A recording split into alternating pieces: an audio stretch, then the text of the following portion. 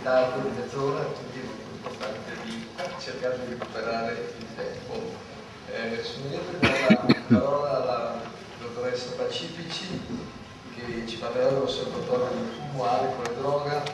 che presenta il rapporto nazionale sul fumo del 2012. La dottoressa Pacifici è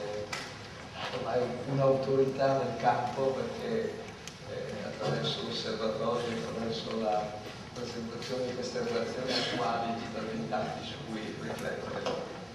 Grazie professor Garattini, grazie tanto. E comincia.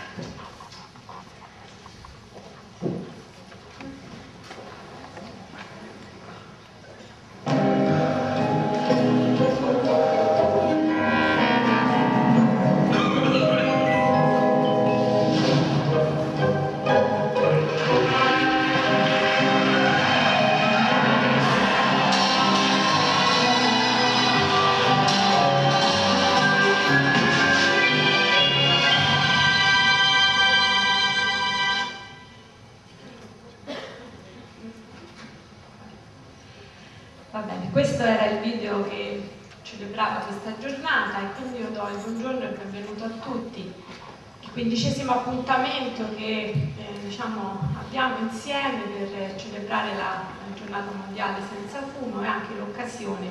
per parlare del rapporto del fumo in Italia. E, e quest'anno eh, mi sembra eh, diciamo, dire, importante iniziare subito con il dato già commentato, conosciuto, comunque abbastanza eclatante, della diminuzione della vendita di eh, sigarette che eh, ha registrato un meno 8% nell'ultimo anno. Una diminuzione che, come potete vedere, è una conferma dell'andamento ormai eh, consolidato. Eh, arriviamo a eh, diciamo, eh, oltre eh, il 15% di diminuzione negli ultimi sette anni e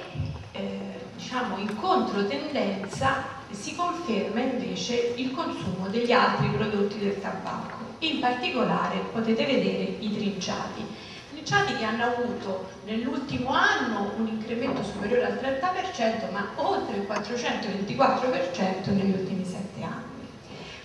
Ehm, ultimi, eh, nei primissimi tre mesi del 2013 questo fenomeno si consolida e come potete vedere si conferma una diminuzione primi tre mesi 2013 rispetto ai primi tre mesi del 2012 dell'oltre 14%. Ci sembra anche essere una diminuzione anche se più contenuta degli altri prodotti del tabacco. La eh, diciamo, diminuzione, flessione delle vendite di, dei prodotti del tabacco non è un fenomeno solo italiano, è un fenomeno diciamo, eh, generale dei paesi europei e è anche europeo il fenomeno del invece il controtendenza consumo degli altri prodotti del tabacco ed è un fenomeno consolidato nei vari paesi anche l'aumento della differenza di prezzi tra le sigarette e gli altri prodotti, in particolare dei trinciati. E eh, diciamo, come potete vedere, questa è un'indagine della eh, Commissione europea, ci indica che l'Italia, dopo eh, l'Irlanda e prima della Grecia, è il paese che ha eh, aumentato nell'ultimo anno maggiormente il consumo di prodotti, altri prodotti del tabacco, oltre eh, diciamo, diversi dalle sigarette. Questo diciamo, eh, spiega anche la motivazione all'uso di questo prodotto e qui vediamo eh, la differenza eh, media di prezzo tra, eh, nei vari paesi europei tra eh, 20 sigarette preparate da trinciato, quindi rollate a mano, rispetto a un pacchetto classico. In Italia la differenza è 2,81 euro. Bene, se parliamo di prezzo, eh, voglio commentare con voi eh, le politiche diciamo, del prezzo nei vari paesi europei, che chiaramente si vede, hanno un andamento, un gradiente che va da est verso ovest. Allora, fatto eh, diciamo standard il prezzo di un pacchetto di Marlboro da 20, si vede evidente che i prezzi più bassi sono spostati verso est. Sono, diciamo, medi quelli che si spostano verso il centro dell'Europa e ritroviamo i prezzi più alti a ovest e nord-ovest dell'Europa. Le politiche anche di incremento del prezzo sono molto diversificate e abbiamo eh, aumenti oltre l'86% in Bielorussia, ma abbiamo anche il, lo standard, diciamo il record italiano che nell'ultimo anno ha avuto un incremento solo del 2%. Bene, è evidente che eh, politiche di prezzo in una eh, diciamo, Unione Europea così diverse non favoriscono la lotta al contrabbando e alle contraffazioni. E questo è un documento eh, diciamo, di uno studio europeo che ci dice come sono in aumento il consumo di sigarette di contrabbando e contraffatte. E qui vediamo la stima del paese, del nostro paese, dell'Italia, che eh, diciamo, nell'ultimo anno è il terzo paese per incremento di eh, sigarette di contrabbando e contraffatte. L'Italia è anche il terzo paese in Europa che nell'ultimo anno ha visto aumentato il consumo di sigarette di marche non registrate. E questo dato è assolutamente in linea con quanto gentilmente ci viene fornito, i dati che ci vengono eh, forniti dalla Guardia di Finanza, che danno indicazione che le aree di maggior provenienza sono proprio Cina, Europa dell'Est e qui elencate molte, non solo tutte, eh, le marche non registrate che sono state sequestrate in Italia. Questi dati reali dei sequestri degli ultimi due anni della Guardia di Finanza dove vediamo un incremento diciamo, dei lavorati esteri e una flessione dei contraffatti. Arriviamo adesso al, diciamo, eh, DOXA che tutti gli anni eh, noi presentiamo e che è effettuata in collaborazione con eh, l'Istituto di ricerche farmacologiche eh, Mario Negri.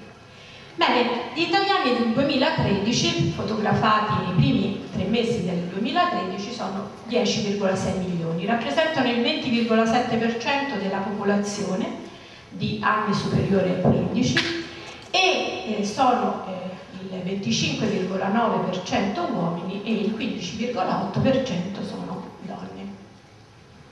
Rispetto alle eh, genere e le fasce di età possiamo notare come la prevalenza maggiore di fumatori maschi la, la ritroviamo tra i 25 e i 44 anni, sfiora il 32% mentre la prevalenza maggiore di eh, fumatrici la ritroviamo nella fascia di età tra 45 e 64 anni. Oltre i 65 anni ritroviamo le prevalenze di fumatori di entrambi i sessi, eh, sessi minori. Rispetto alle aree geografiche dove non si notano eh, diciamo, particolari differenze, mi preme far notare come quest'anno la prevalenza di donne eh, nell'area sud isole eh, addirittura anche se di pochissimo supera le altre aree geografiche, ma ci sorprende perché è la prima volta che troviamo una prevalenza così alta di donne in una zona dove storicamente la prevalenza di fumatrici era tra le più basse. Bene, se studiamo l'andamento eh, eh, diciamo della prevalenza negli anni non possiamo che riconfermare un discorso che facciamo tutti gli anni, una diminuzione lenta, lentissima della prevalenza di fumatori. Quest'anno è solo un 0,2%, con una dicotomia prevalenza maschile e femminile che tende quest'anno ad ampliarsi. In diminuzione, come potete vedere, anche lenta ma costante il numero medio di sigarette fumate al giorno. E rispetto al numero di eh, sigarette fumate al giorno ci sembra interessante eh, studiare la diversa distribuzione per fasce di età e considerare che Oltre i 25 anni la diciamo, tipologia di consumo eh, giornaliero è abbastanza simile, non ci sono più grandi differenze, sostanzialmente oltre il 50% fuma meno di 15 sigarette al giorno, poi abbiamo attestato intorno al 30-35% tra i 15 e i 24, una piccola quota oltre i 25 sigarette al giorno. Il dato mi sembra più significativo è che proprio nella fascia di età 15-24 anni abbiamo la maggiore prevalenza, quasi 81%, di ragazzi che fumano meno di 15 sigarette al giorno. È evidente, questa è la fascia di età in cui si inizia a fumare e si inizia verosimilmente a fumare con un numero di sigarette non altissimo. L'età media a cui si inizia è 17,7 anni, un gap di un anno preciso tra eh, maschi e femmine, comunque oltre il 70% inizia quindi tra i 15 e i 20 anni. Certamente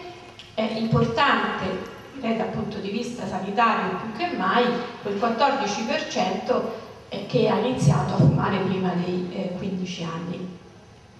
Le motivazioni che spingono a iniziare a fumare rimangono costanti e prevalentemente quella dell'influenza dei pari, tra, nelle condizioni e nelle situazioni diciamo, più ludiche e ricreazionali tipiche e particolarmente potete evidente questa motivazione nella fascia di età più giovanile. Bene, cosa e come si fuma? Andiamo a dettagliare la situazione e possiamo dire che quasi la totalità dei fumatori sono fumatori non occasionali, sono fumatori eh, diciamo quotidiani e eh, eh, diciamo, eh, fumano quasi il 96% sigarette confezionate. Esiste però eh, diciamo, quasi un 10% di fumatori, circa un milione di persone che utilizzano sigarette fatte a mano. E chi sono questi? Ma sono prevalentemente giovani, giovani che si ritrovano appunto nella fascia tra i 15 e i 24 anni. E le motivazioni le abbiamo ben chiare, è eh, un acquisto molto più economico, è eh, diciamo, prodotto rollata a mano, fa moda, è trend tra i giovani. Bene, vengono acquistate come eh, diciamo consuetudine eh, oltre quasi il diciamo, 89% nei tabaccai, abbiamo quasi il 7% che li acquista dai distributori automatici, automatici c'è una quota di acquisto negli altri canali che sono i duty free, internet e altre situazioni. Bene, adesso allora arriviamo alle diciamo, novità di quest'anno cercando di eh, cogliere la fotografia che l'indagine ha fatto sul consumo della sigaretta elettronica ad oggi. Bene, eh, voglio partire con questa annotazione, questa nota che una delle più grandi banche eh, mondiali, la Wells Fargo, eh, qualche tempo fa ha esplicitato questo pensiero, ritiene, stima che in dieci anni il consumo di eh, sigaretta elettronica supererà quella delle sigarette tradizionali, anzi ritiene questo un fenomeno che può essere assimilabile a quello delle Apple e che la sigaretta elettronica è un po' la versione one dell'iPhone. A diciamo, risposta di questa eh, così, stima, eh, le più grandi multinazionali del tabacco, le big eh, del tabacco, hanno acquistato le più grandi case produttrici di sigarette elettroniche. Allora, i dati eh, che ci ha fornito l'associazione la, eh, dei rivenditori e dei produttori, come vi anticipava il professor Garaci, è eh, diciamo una stima, dicono loro, per difetto di un milione, un fatturato che è stato di oltre 350 milioni nel 2012, eh, prezzo, abbiamo detto, di un euro al giorno, punti vendita ad dicembre 2013 1.500 stimati alla fine dell'anno 4.000, un, eh, diciamo, personale coinvolto escluso l'indotto di 4.000 persone. Cosa dice la nostra indagine? Bene, intanto la eh, notorietà di questo prodotto che ormai ha conoscenza direi quasi della totalità degli italiani, eh, anche se solo un 10% dichiara di eh, volerla provare. Ma possiamo vedere come l'uso occasionale della sigaretta elettronica viene diciamo, dichiarata dal 3,2% degli italiani, quindi 1,6 milioni di persone dichiarano di consumare occasionalmente la sigaretta elettronica e nel 69% dei casi eh, con ricariche che contengono nicotina. Diverso il discorso sugli eh, user abituali di sigaretta elettronica, cioè che la usano tutti i giorni, la usano mediamente 9 volte al giorno, sono circa 510.000 persone e nel oltre 93% dei casi la usano con ricariche contenenti nicotina. Bene, se vogliamo eh, fare un profilo ecco, di questo consumatore di sigaretta elettronica, possiamo dire che, come vedete, dal punto di vista di genere non si differenzia assolutamente dal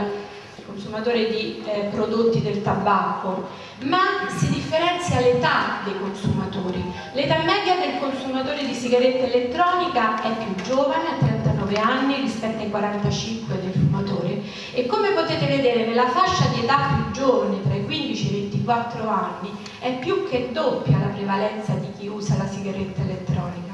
Questa ad indicare che la fascia di età dei giovani è la fascia in cui il mercato si rivolge in maniera più significativa e che qui abbiamo una fascia di giovani che la sta utilizzando senza aver mai prima utilizzato la sigaretta classica. Bene, quali conseguenze l'uso della sigaretta elettronica potrà ha avuto diciamo, su queste persone che l'hanno utilizzata abitualmente? Come potete vedere eh, quasi l'11% dichiara di aver smesso di non utilizzare più sigarette classiche. Questo significa che però abbiamo quasi un 90%, 89% di eh, persone che utilizzano entrambi i prodotti e ne abbiamo un 22% che non avendo modificato le sue abitudini ha aggiunto eh, l'uso della sigaretta elettronica al consumo della sigaretta classica. Abbiamo però un 65% più o meno di persone che utilizzandola dichiarano di consumare meno sigarette classiche e diciamo il 23% dichiara di aver eh, diminuito in maniera anche drastica questo numero.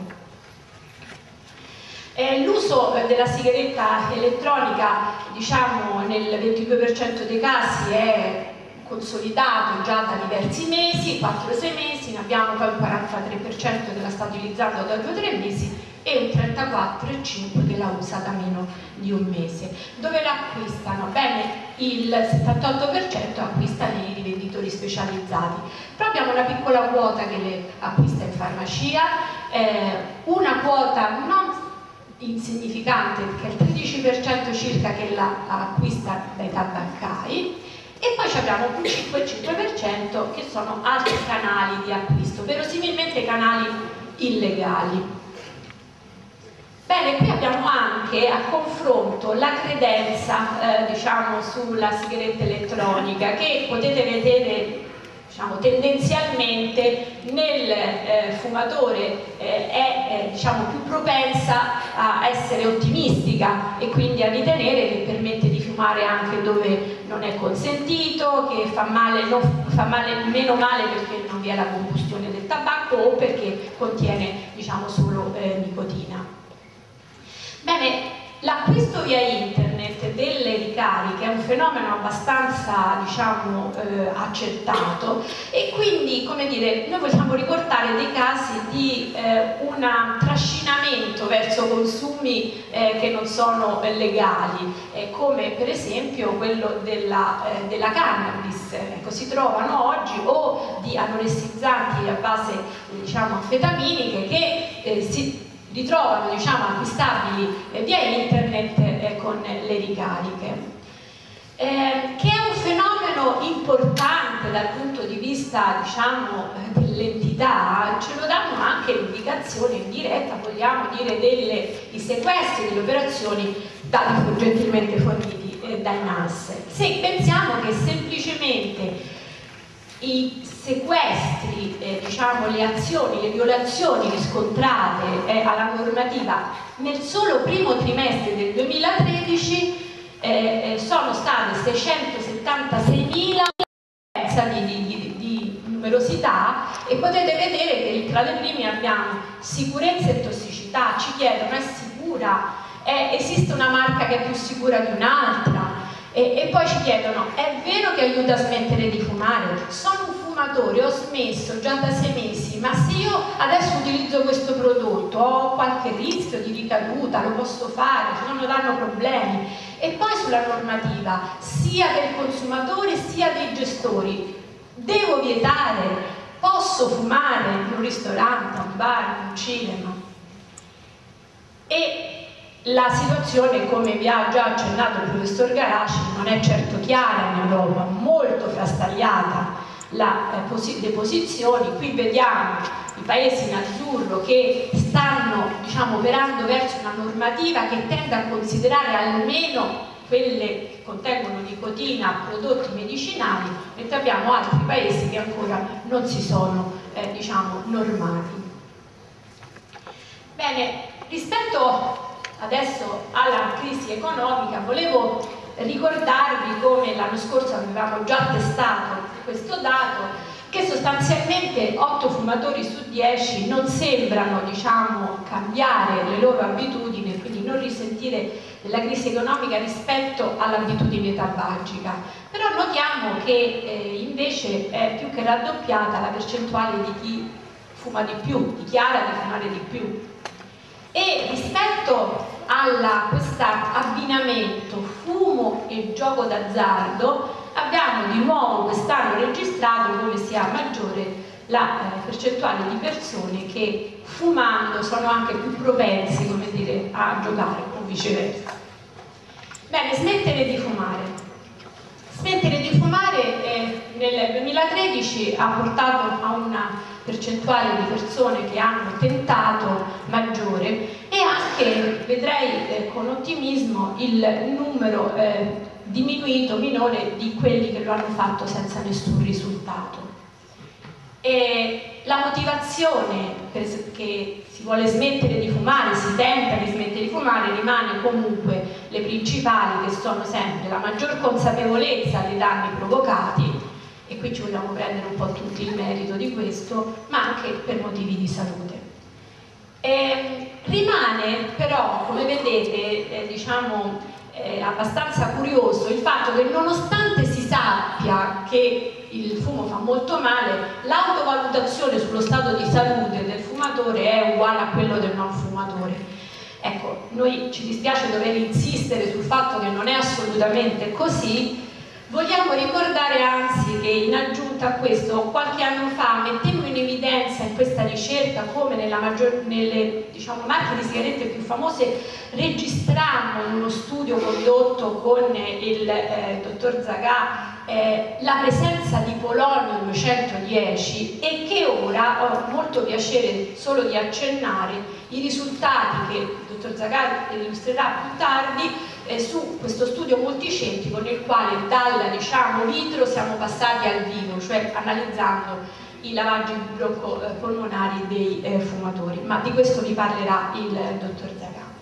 Bene, tentativi di smettere senza successo, ecco, potete vedere che in questo caso il 92% sono persone che hanno tentato di smettere ma senza nessun tipo di supporto e non ci stupisce perché come vedete ogni anno riproponiamo che solo una piccolissima percentuale di persone ha chiesto aiuto al proprio medico di famiglia ma d'altra parte è piccolissima la frazione di persone che hanno ricevuto dal proprio medico di famiglia un consiglio spontaneo per smettere di fumare. Ma allora non ci sorprende questa diciamo, recente indagine che è stata condotta proprio dai medici di medicina generale che mette in evidenza intanto che il 20% dei medici sono fumatori e che in quel caso quando sono fumatori eh, c'è una, una, percentuale più alta che non ritiene utile eh, diciamo, dare indicazioni o parlare del problema del tabagismo con loro pazienti e tantomeno diciamo, dare invito a rivolgersi ai centri antifumo o prescrivere delle, eh, diciamo, eh, dei eh, farmaci che li possono aiutare. E questo diciamo, eh, altro studio eh, non ci tranquillizza, visto che i nuovi eh, diciamo, medici che arriveranno, li metteremo presto sul mercato, non sono assolutamente formati su questo argomento Ecco, solo il 10% degli studenti riferisce di aver ricevuto in qualche modo un training su questo importante invece intervento sanitario. E, e poi purtroppo un futuro medico su 5 seguita a essere un fumatore. D'altra parte potete vedere come solo il 4,2% dei fumatori gli è capitato eh, che il suo medico gli parlasse dei centri antifumo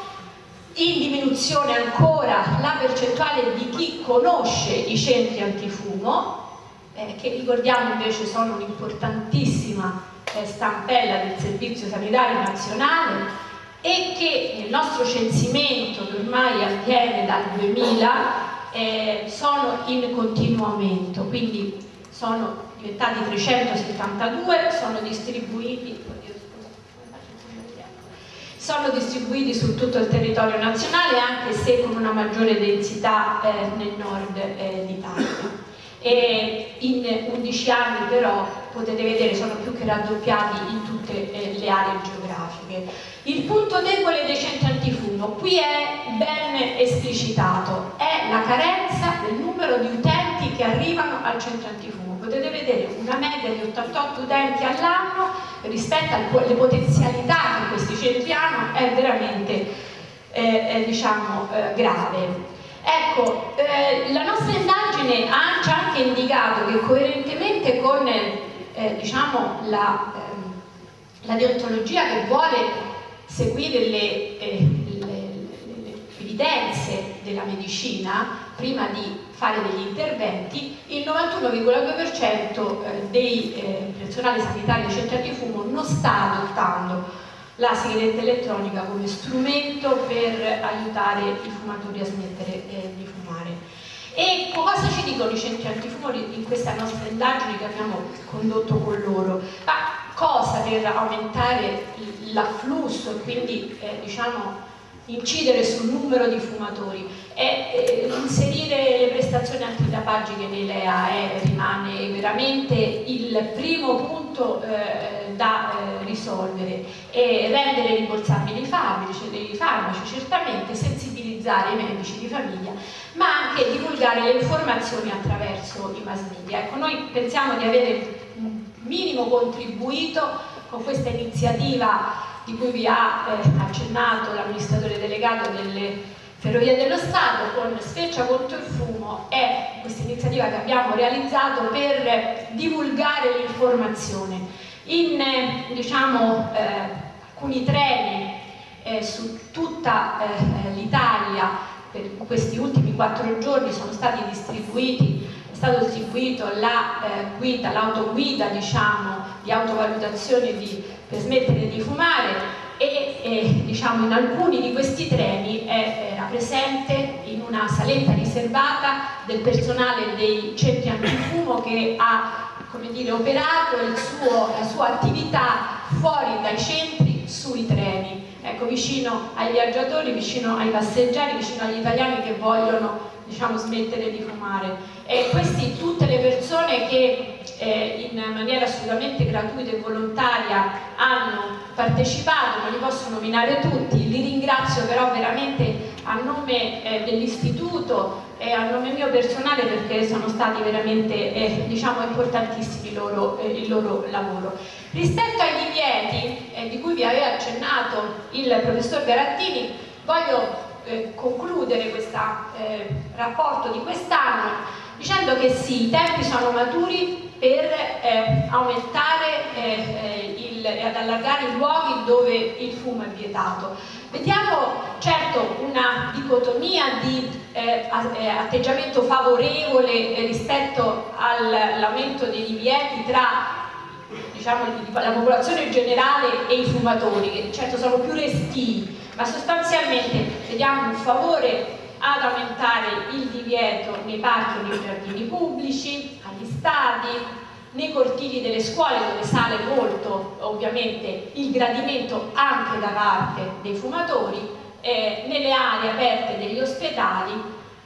ma anche negli autobus, alle fermate degli autobus, alle stazioni eh, dei treni, mentre voglio chiudere con